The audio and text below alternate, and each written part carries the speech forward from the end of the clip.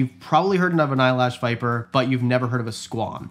These things are showpieces and displays. The reason that I think they're so beautiful, because eyelash vipers especially have a Christmas phase, which looks amazing. They can be bright yellow, like this one that we saw in Costa Rica, and just overall, they're the way that they look. Think about it, okay? Eyelash vipers, what they're doing is mimicking a flower so that birds land on them, they can bite the bird and then eat it.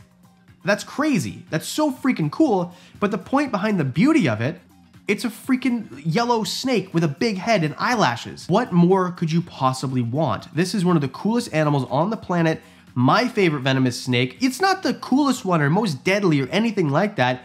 Just based on looks alone, nothing beats an eyelash viper or a squam.